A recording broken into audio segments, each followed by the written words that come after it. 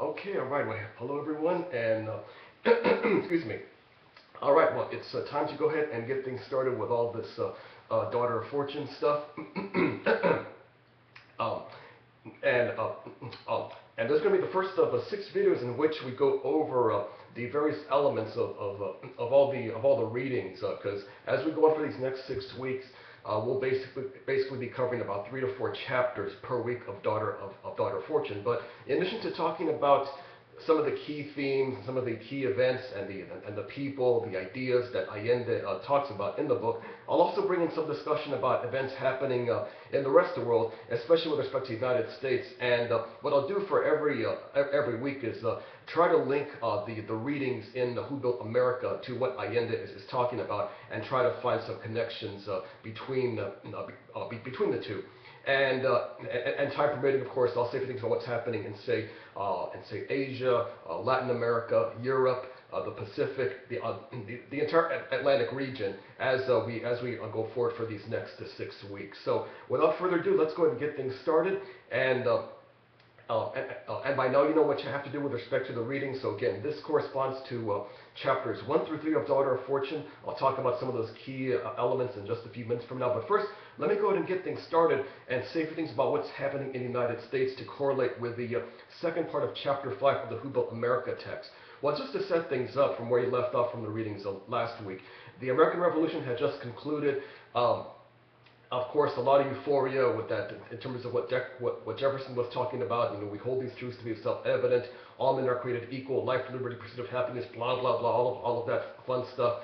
Uh, but it's one thing to announce uh, these revolutionary ideas that people like Jefferson uh, and John Adams talked about, based upon some of the ideas that people like uh, John Locke, Rousseau, uh, many of the other European thinkers, the European Enlightenment thinkers had talked about. And in essence, what the European thinkers had built upon a lot of the ideas that was uh, predicated by the uh, ideas of the Protestant Reformation. That is, this idea that it's time. The Protestant Reformation, if you recall from a few weeks back, set this notion that you really don't need to have, you might say, structured uh, religion, structured uh, uh, structured hierarchy to tell you to have a relationship with relationship with, with, God. As Martin Luther, John Calvin, and many other reformers of the era mentioned, the idea is to have more an, an, an individual relationship, not depend on others to essentially tell you what you have to do. So the Reformation essentially set this mold, of define authority. The Reformation helped to uh, pave the way for a lot of the origins of, you might see, the uh, early uh, European European nation states. And of course, uh, and as we saw a few weeks back, we saw how Henry VIII uh, really took that to, to, to heart uh, in the 16th century. So by the time he died and his daughter Elizabeth came on the scene at the uh, in the tail end, the uh, last uh, few decades of the 16th century, with Elizabeth, that began the rise of the first modern English state. Uh, so, so essentially, uh, my, my point is, is that once the revolution ended and the U.S. was free from the British, it was based upon a lot of these ideas and principles of breaking away from established structure and authority uh, that people like Thomas Paine really brought to the forefront in 1776. And then, of course, uh, Jefferson and Adams took to another level uh, uh, during those days in Philadelphia, those hot summer days in 1776. But that was only part of the story because as you get going in the Built America reading, starting from page 236, the idea is how to govern because it's one thing to say, okay, we're, we're democratic, peace and freedom, liberty, uh, blah, blah, blah, all of that, uh, all of that, uh, great, great stuff but how do you really govern? So essentially, the main point that the uh, that uh, you see in, in Who Built America is the idea of governance. Who, who, who, who, who, governs? Um, what is the relationship between the federal government and the uh, and, and, the states and, and, the people? And that's the main issue that was being discussed during the days of 1787 when the Constitution came into the forefront. So, contrary to popular opinion, the Constitution, for all intents and purposes, is really a conservative document. It really sets the framework for having a powerful established federal government, but a government which, in the words of Alexander Hamilton and John and uh, James Madison said, that is, you extend the sphere of government. That is, uh, their thinking was by having large government, this ensures a wide open playing space for all kinds of factions, all kinds of uh, groups of people, interest groups to uh, come together and share ideas. In other words, by having a large government, uh, you extend the political space. You might say you extend political freedom for those to discuss, debate, argue. Uh, that is whether you're whether you're uh, a northern, you like uh, things such as uh, commercial interests, trading, uh, trading with, with, with Europe, and then maybe later on trading interest in China, in, in Asia, or maybe more interested in the more conservative elements, that is, protecting your own individual freedoms, having your uh, um, your small plot of uh, your, your, small your small farm, your individual individual farm, uh, stuff that uh, that Thomas Jefferson really really believes in. So you don't. So in other words, you don't really want to have government intrude upon your normal day-to-day affairs. But as Madison and Hamilton point out, by having this wider range of uh, this uh, this large, expansive government, that ironically extends the space of, uh, of, of, freedom for people uh, for, for people from uh, from from A, a to Z. And this is a kind of a lesson that you might see people like Sarah Palin, uh, Ted Cruz, and uh, and others seem seem seem to uh, seem to forget or maybe don't know about. But I'll save that discussion for maybe my History 109 class. But in other words, the point I'm trying to make here, as we as we lead into what's happening with Daughter of Fortune, is that the United States is going through a series of growing pains. What is its role? That is, uh, is it a powerful, expansive re re uh, re republic? Is it going to compete with the Europeans with respect to things such as trade? Because even though the U.S. and England will still have, still have some some uh, problems to sort through up until the 1810s and War of 1812 and even to the 1820s, the English for, uh, uh, the English, uh, for the most part, remain as one of the main tra trading, par trading partners for the early United States. And likewise, too, as problems with France emerge uh, toward the uh, presidency of, of, of, John Adams, uh, the thinking is, well, because we don't like the French, maybe we should side with the English. So what's happening early on, we're seeing, you might say, pro-French factions led by uh, Thomas Jefferson and pro-England factions led by John Adams and, and even more so by people like Alexander Hamilton and to a lesser extent by George Washington, who of course would serve the first uh, uh, early two terms as president in the, uh, uh, that is from, 17, from 1789 uh, until he retires in 1797. Uh, but the gist of all this that's happening here is that as the nation is coming into the uh, uh, early parts of the 19th century, and then more so when Thomas Jefferson becomes president in 18, 1800, takes office in March of 1801, the U.S. is, uh, is trying to find its way find its niche uh, that is uh, uh, that that is with respect to ideas such as not not not not uh, not only uh, expanding liberty, expanding freedom to others, and of course by by others I mean essentially essentially white white men. Of course, the the, the right to vote, the franchise to vote, would be denied to women for for many many many more years, and and of course African Americans and Native, Native Americans they'd have to wait much much longer than that. But the ideas were were, were there these uh, themes of expanding liberty and democracy, Thomas Jefferson believed that while he was president, that in order to uh, ensure the growth of liberty and democracy, you have to have land. Land is, is like a safety valve for democracy. So because the U.S. has this interest in uh, uh, not, not, not only so much expanding the abstract ideas of liberty, freedom, and uh, uh, free, free and fair, fair, fair elections, of suffrage, uh, the, the, right to vote, for, especially for, for, for white, men. Um, you have to have land in order to accomplish these, these goals. And that, of course, is where Thomas Jefferson comes into the picture with Louisiana Purchase. But the thing is, when you start to expand your, your nation, you begin to intrude upon or begin to push up against what's happening with some of the other countries. And of course, uh, the French, of course, have been kicked out with the French enemy, where we saw that a couple of weeks back. But the country that seems to be in the way of uh, the nation's expansion is, of course, Spain. Uh, Spain had, uh, had, had taken over Louisiana Territory in 1763, and as American settlers started to move toward the west, toward what is now present-day Texas, of course, that area was in Spanish hands, and then when the Spanish uh, government began to fall apart, uh, especially with the death of King, of, of King Charles III in 1788, when his son Charles IV takes over in, 17, in 1788 and rules for 20 years after that, the Spanish Empire goes into a complete tailspin. I get into a lot more of these issues in my Chicano Studies and Mexican American Studies class for Southwestern and Mesa, but the point is, the Spanish Empire is, is crumbling. At the same time, the U.S. is expanding, pushing further and further west. So Americans are, uh, from all walks of life are, you might say, getting really interested in what's happening to the west, especially what's happening in the former Spanish territories, now the new Mexican territories. So places like California, New Mexico, and of course Texas are now part of the Mexican Republic after, 18, after 1821. So American policymakers, American uh, thinkers, and uh, adventurers, people of, of, of, that sort, They're interested in, in what's happening with respect to Spain and Spain's empire as it's crumbling, not just in the Americas, that is, in the North America with Mexico. Of course, what's happening down in South America, entirely the same thing. So, whereas in Mexico, you have Father Hidalgo and Father Morelos, who were the main leaders of independence in 1810, 1811. Down in South America, you have uh, Simon Bolivar, Jose de San Martin, Bernardo O'Higgins, the great liberator of, of, Chile. You have these men who are, uh, who are uh, essentially taking upon some of these ideas because keep in mind a lot of the, lot of the works that people like uh, like Locke and Jefferson Adams were, were talking about these were things that were translated. There were books and pamphlets being sent to the various ports whether it was in Mexico in, in Acapulco or whether it was in Spain itself in the port of Cadiz along the Mediterranean. These ideas began to uh, filter to other parts of, of the world. So a lot of these uh, these, these mil military men or, or, religious leaders, whether it's Hidalgo or O'Higgins or, or, or Bolivar, they like what they hear about, uh, about, about representative government, Republican government, uh, liberty, democracy, breaking the power of, of, of the church, uh, more, uh, more, more rights for, for, for man, more land for the people, that type of thing. So as these ideas are filtering into other parts, well, especially in Latin America, uh, that's where a lot, lot, lot of these people like uh, Bolivar, San Martin, and O'Higgins in Chile began to take up the mantle and fight uh, uh and, uh, and, and, fight for these ideas against the crumbling Spanish government. The Spanish governments of the 18 of the 1810s and 1820s were very erratic in nature. You had a constant push and pull between more liberal reformist types of ideas, led ironically by some military men, and then you had the reactionary rule in which King Ferdinand, this is King Ferdinand VII, comes in uh, in the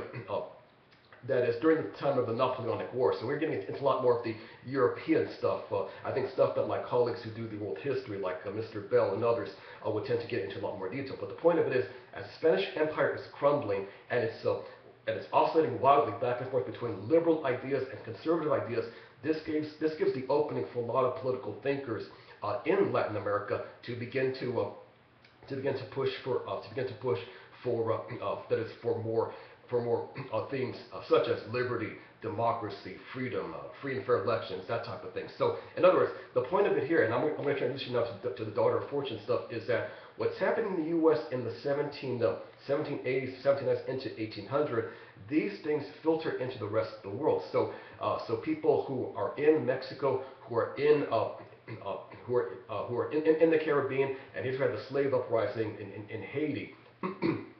um, uh, around 1800 into, into 1804, and of course into South America. Uh, these ideas from people like Jefferson, Adams, uh, Washington, and, and, and also Thomas Paine influence what's happening in, in, in, other parts of the world, especially in Latin America. So we fast forward to about 18, so we're now about 1810, 1820, and Chile is now an independent nation.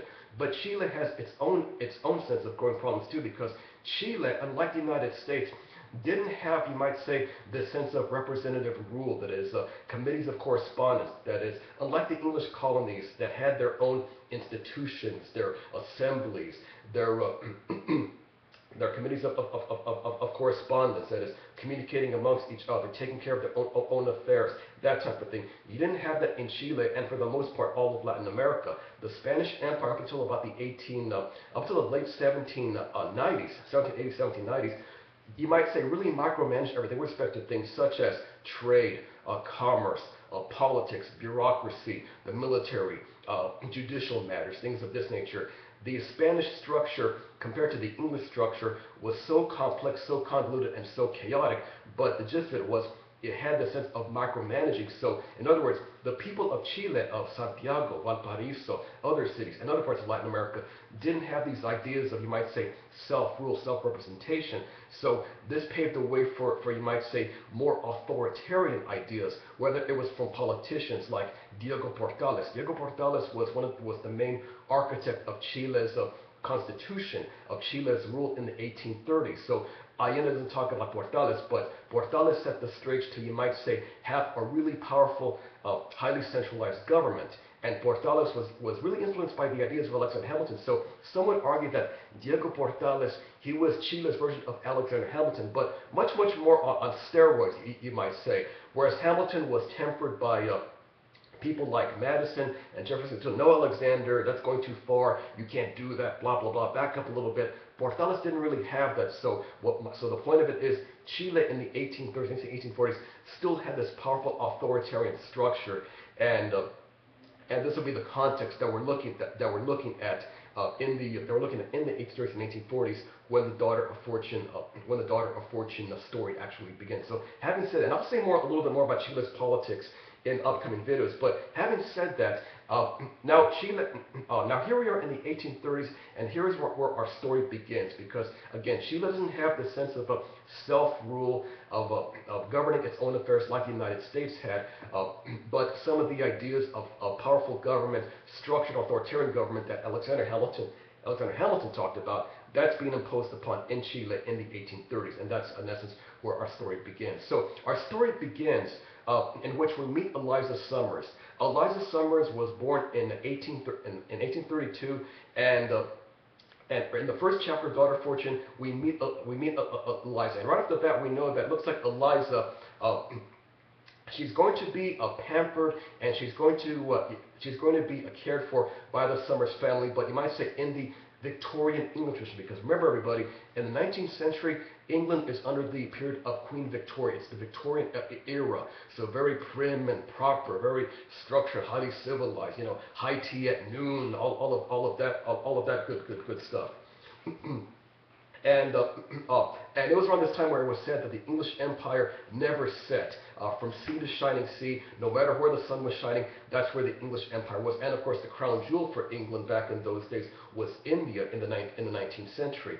So the English, of course, uh, still maintain this prim and proper attitude, and the Summers family definitely embodied that, especially in the person of Jeremy Summers, who's, who is uh, Rose's Summers' older brother. So Rose is the matron of the family. She cares for Eliza. Jeremy is the older brother. And then there's the oldest brother, John Summers, who you might say John is, I guess you could say, the black sheep of the family. He's got many adventures all over the, all over the, all over the world, as Allende points out once the story begins. So we meet the Summers family. We also meet Mama Fresia. Mama Fresia is the, uh, the curandera, you might say the faith healer. She's the one who cares for, uh, for uh, uh Eliza. And uh, right off the bat, we see that Eliza is almost torn between the prim and proper world of the Summers family and England, but this down-to-earth uh, people of, of the land mentality that Mama Fresia and, and her native people, the, the Mapuche people from Chile, represent. So already Eliza is torn from, from the get-go between these two worlds, and that's what we see in chapter 1. Other characters we meet in chapter, we meet uh, Jacob Todd. Jacob Todd is a guy who wanders all over the place. He's got the sense of, of, of wanderlust. Uh, uh, but Jacob is, is, a guy you might say who's a free spirit, but also has a strong views about things, about politics, about liberty, about e equality. Jacob Todd, I, I, would argue, maybe he's like the uh, like the like the Thomas Paine of, of, of, the story in that he questions things and he doesn't like the idea of structured religion as uh, Allende points out in chapter one. So questioning of religion and authority that's one thing we're going to see quite a bit as the story as the story uh, begins to uh, progress. And already we see at the end of chapter 1 how Jacob notices the disparities of people in Chile and and sees the disparities be, between between the rich and, and, between the rich and the poor. So again, we meet a lot of the main characters in chapter one, where we get a sense of where Allende is coming from as the story starts to un, un, unfold. Chapter two is called the English, and here and here we see more about the uh, Summers of home, of family ho, home life. Uh, talks about some of the rituals of the family, that is how Rose bathes uh, Eliza while Eliza is growing up as, as, a, as, as, as a young, young girl. Uh, uh, we see instances in, in which uh, uh, Rose wants to train Eliza, have her go to a proper finishing school, and things of this nature, which of course are very popular back during the, Victor Victor back during the Victorian era. But we also see, uh, so while the Summers try to make, you might make, make say Chile, a version of England, uh, we see that Sheila's ancient path, its uh, traditional path, you know, but long before the uh, the Spaniards arrived, uh, uh, we see, you might say, a lot of those elements come to the for, come to the forefront. Uh, Allende talks about and talks about some really devastating earthquakes. She talks about flooding. She talks about this time known as as the God's wrath, and she talks about this.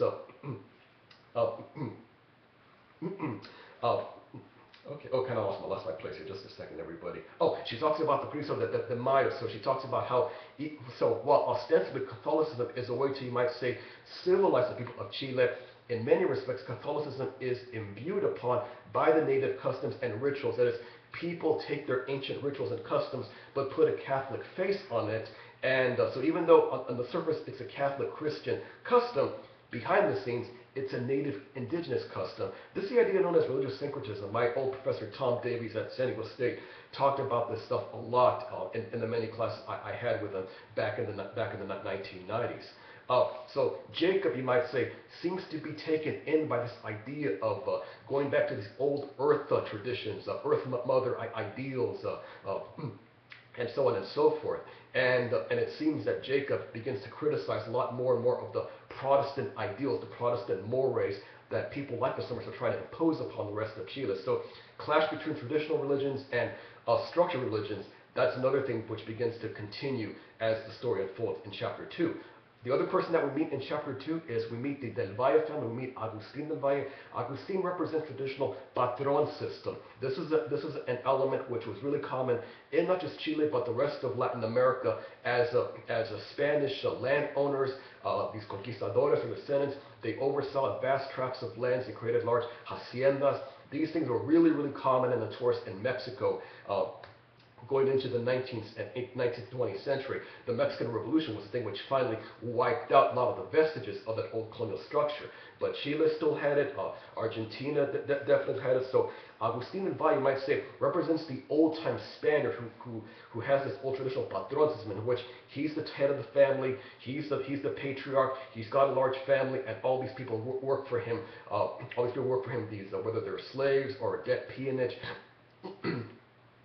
that type of. So that's where the that's where the Del Valles come in. The Del Valles, in essence, represent this old guard of, of people from Chile that is going back into early colonial times.